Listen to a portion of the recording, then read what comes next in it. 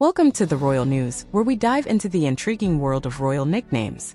I'm your host, and today we're uncovering the affectionate monikers the royals use behind closed doors. But before we jump in, don't forget to hit that subscribe button and ring the notification bell to stay updated on all things royal. Now let's start with the future king, Prince William.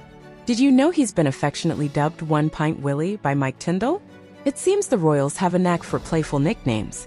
And speaking of playful, when Prince William and Kate were in the early days of romance, Kate lovingly called him Big Willy. But as time went on, their nicknames took a humorous turn. Kate now playfully refers to her husband as Prince Baldy. But it's not just Prince William. The late Queen Elizabeth had her share of unique names. Can you believe Prince William used to call her Gary when he was a child? Talk about unexpected.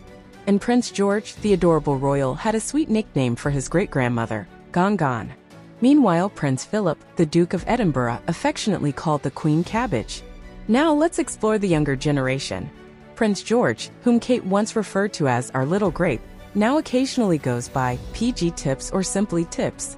And did you know he took control of his own nickname, claiming to be Archie during a chance encounter? As for Princess Charlotte, Kate lovingly calls her Lottie. And the youngest royal, Prince Louis, has been affectionately referred to as Lou Bug.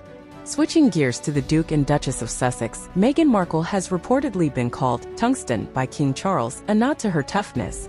Prince Harry, on the other hand, had a wilder side and was once dubbed Flash. And let's not forget the Tindalls. Mike and Zara affectionately call each other Munchkins, and Zara has a secret nickname for Mike that ends with kitten. As we wrap up our royal nickname journey, it's clear that behind the grand titles and formalities, the royals have a penchant for playful and endearing names. Which nickname surprised you the most? Let us know in the comments below. And don't forget to like this video and share it with your fellow royal enthusiasts. Thanks for joining us on the Royal News.